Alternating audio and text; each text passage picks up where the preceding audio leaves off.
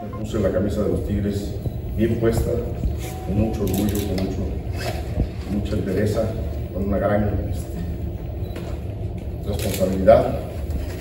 Y hoy, bueno, pues desafortunadamente la tengo que dejar con mucha tristeza, sinceramente con mucha tristeza, con mucha rabia, mucha molestia, mucho enojo de no poderle haber dado a esta gran afición, a la mejor afición, un logro importante.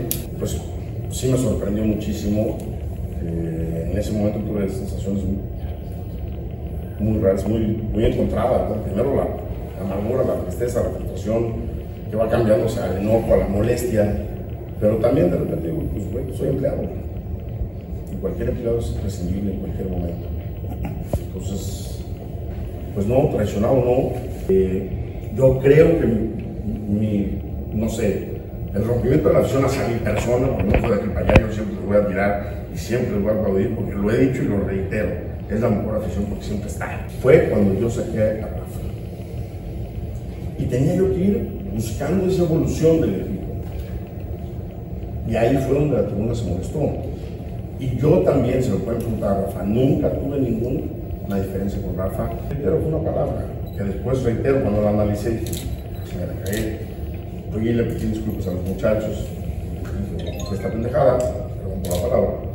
Pero sí, pero al final de cuentas, eh, si tú evalúas a la persona que vas a buscar, si yo te voy a contratar a ti, te veo y, veo todas tus cualidades y tus defectos. Hoy, hoy soy desempleado y, y, y, recibiré propuestas. Ya desde hace un mes y medio me han estado hablando de otros lugares para ir a decir afuera, en Arabia y en Pues, estoy, en y yo pues, estoy en uno de los mejores equipos de México.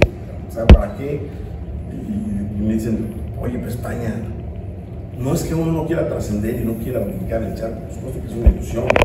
Pero si estás en América, si estás en Tigres, si estás en Monterrey, no sé, Cruz Azul, Chivas, pues tampoco es que digas, mi ilusión es irme a Europa, ¿no? Y de abandonar estos proyectos.